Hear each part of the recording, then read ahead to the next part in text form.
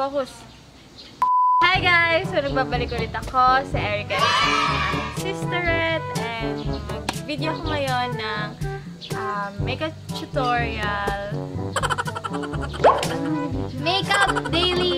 Ayun, aking everyday makeup. So, I hope you like this video and please subscribe to my channel. Kasi sa description box below, lahat ng mga ginamit kong product. Uh, for my everyday makeup routine, usually kasi nag-start ako with a moisturizer para ma-protect yung aking skin at Nagsa-start din ako syempre with the sunblock. So, ito yung ginagamit ko, yung Neutrogena Ultra Sheer Dry Touch. So, SP...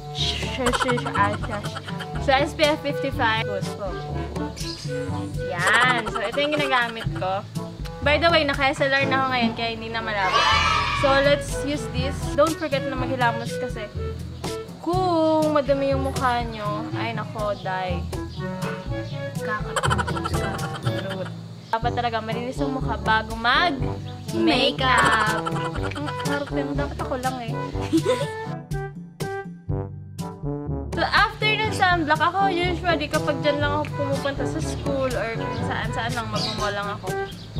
Yung ginagamit ko. Hindi na ako nagpa-foundation. So, ito yung ginagamit kong isa. Itong CC cream na to. Pwede kayo gumamit ng BB cream or pwede rin naman na mag-foundation kayo kung gusto niyo. So, let's just use this. Oh my God, paubos na siya. So, lagay mo lang dyan. Pantayin nyo, leeg nyo ha. Pangit kaya kapag puti ng mukha nyo, sakit yung ng leeg. Gamit lang kayo ng beauty blender. Pwede nyo basahin yung beauty blender, pwede rin namang hindi. Ngayon, nandito ako sa lupit. Kaya kung may marinig kayo dyang mga manok-manok, sisiw namin manok at pabo at libe. Yan ang karami, mapahit lang. Mm, diretso ka na sa concealer. Kung ayaw mo, ox lang din naman. Gamit ko, ito, yan. So, ito yung gamit ko, Shirley Magic Concealer. Ito, ginagamit ko lang siya sa aking under eye. Mga areas na kailangan ko itago, yung mga namumula-mula.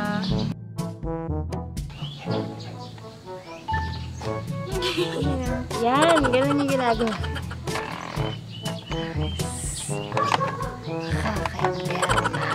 So, after natin concealer, magpo-powder na tayo. So, ito ang gamit ko, L'Oreal.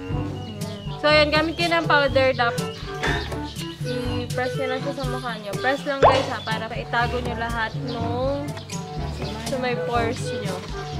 Talagyan nyo na lahat ng powder. Diretso ko na kasi agad is yung aking blush. Ito talaga, ginagawa ko to everyday kasi hindi ako nakaka-survive ng aking everyday kapag wala akong blush. So, I'm using this Sophie. This, I'm using this cream. Matagal na to, guys. Mura lang to. This is around 80 pesos lang ata. So, kung order kayo, let me know. Sabihin niyo sa akin, i-order ko kayo. So, ito kasi, kapag in-apply mo siya sa pisngi mo, parang hindi ka naglagay ng blush. Parang nag-glow ka lang talaga. Parang kinikilig ka lang. At konti lang ha, kasi this is so pigmented. Mas pigmented pa to sa love life mo. Kuya. So, yun. Yan.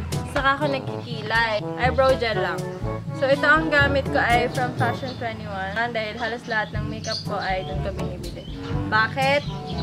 Dahil mura lang po doon sa Fashion 21. So, yun. Nilalagay ko lang siya sa aking kilay. Kasi tamad na akong mag-pencil.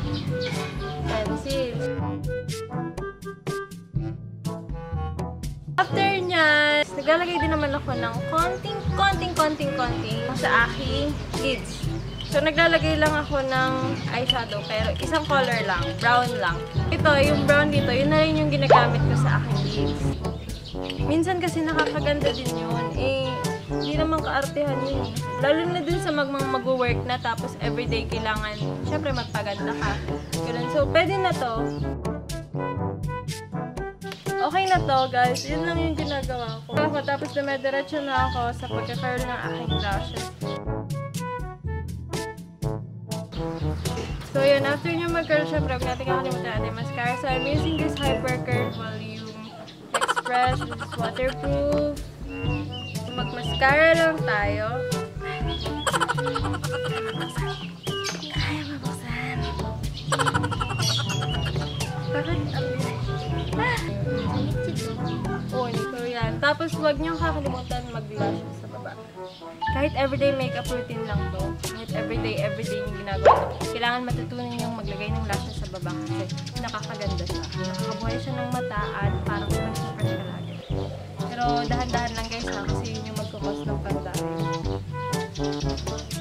Sunod kang ginagawa is, hindi na kasi talaga ako nagko-contour eh. Pero parang ah, ah, define tong ating pisngi kasi feel ko laki ng pisngi ko talaga.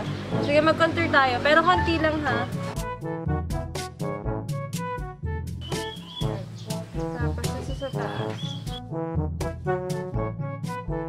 Huwag niyong kalimutang i-blend yan ng maigi. After nyo mag-contour, diretso na tayo sa ating lips. So, ang ginagamit ko lang for my everyday makeup routine na may sasuggest ko sa inyo na magtatagal siya is this Maybelline to powder matte the shade of Play Crush. So, yan. Halatang halata na gamit na gamit ko ang aking Maybelline dahil Pud-pud na. Pudpud na siya. Mamaalam na siya. Ang ingay. Tayo natin kumain yung mga aso. Pag wala nang tumatahol kanang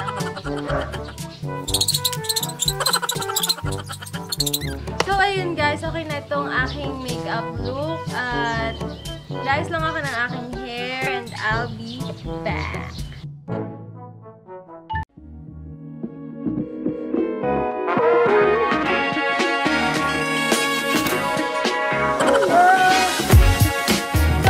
Guys, nagbabalik na ako at nagpalit lang ako ng aking damit as usual at saka nag-ipit lang ako para naman mas, mas mukhang presentable sa inyo. So, ito lang talaga yung aking everyday makeup routine. At ganun lang kasimple guys, ang pag-makeup sa sarili nyo. Mga products na ginamit ko ay sililista ko sa description box below at huwag kayong mag-alala dahil lahat naman yan ay available sa Watsons at saka sa mga SM department stores. At yun ay murang-mura at kayang-kaya nyo i-avail. Don't forget to like this video and please, please, please do subscribe to my channel. My channel is Erica Venturina. So, please, subscribe na po kayo sa mga hindi pa nakaka-subscribe. And guys, nagbabasalamat nga pala ako sa aking kapatid na kahit wala siyang ginawa, pinahiram niya ako ng damit niya kasi kanya to. Thanks ah. So, yun.